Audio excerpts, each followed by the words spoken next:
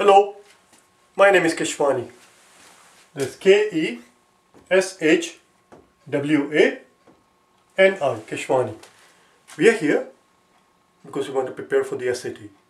We have been solving SAT math problems out of this book here, the official SAT study guide, the second edition. If you do not own this book already, purchase one immediately. You're going to need it.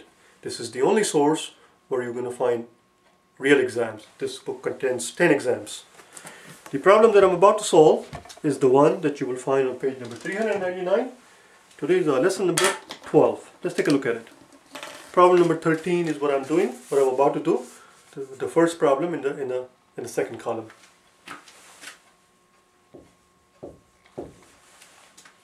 The first term of the sequence is 1. Alright, the first term of the sequence is 1. So far so good, I can handle that.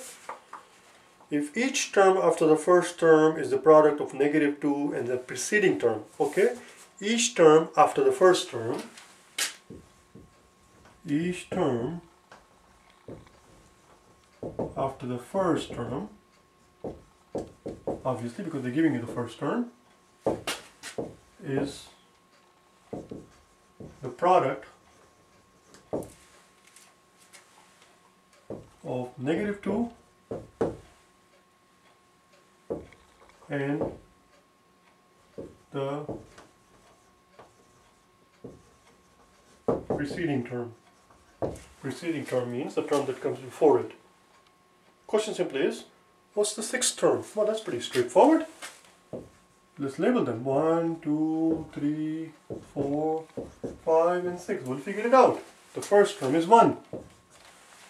The next term is negative 2 times the preceding term, the term that came before it. So it's negative 2 times the term that came before it, which was 1. So that's the negative 2. This term, the third term, these are the terms. Perhaps I should, I'll do better than that, not to confuse anybody. These are the number of terms that are there, and I'm going to put it put them in Roman numeral. One, two, three, four, five, and six. The third term is going to be negative 2 times the term that came before it. Negative 2 times the preceding term, which is negative 2. So then negative times negative is positive, we get positive 4.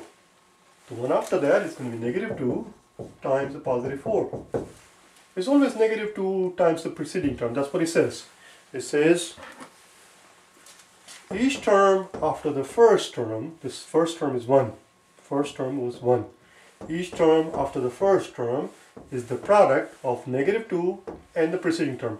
Don't worry about the fact that I had this uncontrollable urge to put, to put the parentheses around it. I like it that way. I prefer it that way because putting the parentheses around it makes it more conspicuous. It's easy to see it. Conspicuous. I do not know if we ever learned this word. I don't know if we should qualify that as a, as a, as a vocabulary word. Conspicuous simply means that it's easy to see. It's easy to notice. I'm not going to go there right now because I don't know if I covered it. And secondly, I do not know how to spell the bloody thing. So we won't go there right now. So it makes it very easy to notice by putting the parentheses around it that it is in fact negative, so that we don't, so that we don't miss miss the negative sign. So the preceding term was positive 4. So we have negative 2 times positive 4, which is negative 8. This term, the fifth term, is going to be negative 2 times the preceding term, which is negative 8. Negative times negative is positive, 16. And finally, the last term, the sixth term that we're looking for, the sixth term that we're looking for is going to be the term that came before it times negative 2. So negative 2 times the one before it, which is positive 16, Negative 32 is our answer. Oh no, negative 32 is our answer. Answer is E. That's all. The answer is E. That's all there is. It's not a difficult question, but you will get it wrong if you do not take your time. Make sure you slow down, make sure you understand the directions properly, and just take your time. That's all it is. It's just a matter of taking your time. It's not a difficult problem, as I said, but still, a lot of people get it wrong, not because they don't understand it, but, but, but because they are in too much of a hurry. Always take your time to read the question properly and then take your time to actually solve it properly. Do you understand? Of course you do. I will see you tomorrow on day number 13. Alright, bye now.